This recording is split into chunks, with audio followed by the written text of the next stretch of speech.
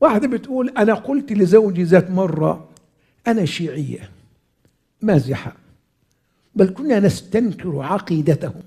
وعلمت بعد بعد سنوات أن هذا لا يجوز وقد يكون كفرا. أعمل إيه؟ نكاحي صحيح. دايما المشكلة هل نكاحي صحيح؟ أنا قلت كذا عملت كذا النكاح انفسخ. إيه اللي حصل في النكاح؟ أفيدوني لقد أصبت بالوسواس. نقول لها يا سيدتي غفر الله لك وعفى الله عنك. ما كان ينبغي لك ذلك؟ هذه مزحة كاذبة.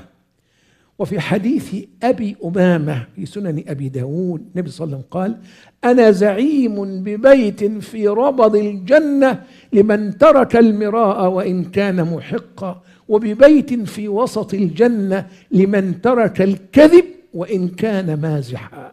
النبي صلى الله عليه وسلم كان يمزح ولا يقول إلا حقا امرأة عجوز جاءت يا رسول الله ادعو الله أن أن يدخلني الجنة. قال لها لا يدخل الجنة عجوز. فولت وهي قال لا لا تدخل الجنة وأنت عجوز. إنا أنشأناهن إنشاء فجعلناهن أبكارا عربا أترابا لأصحاب اليمين.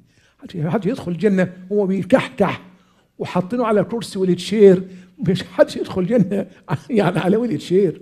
لا ربنا يعيد إنشاءه نشأة في منتهى العافية والفتوة والشباب. والحمد لله على نعمته بعباده وعلى توسعته عليهم. وببيت في أعلى الجنة لمن حسن خلقه.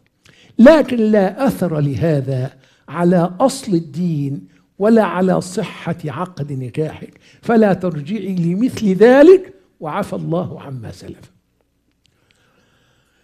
اللهم اهدنا سواء السبيل وقنا عذابك يوم تبعث عبادك يا رب العالمين.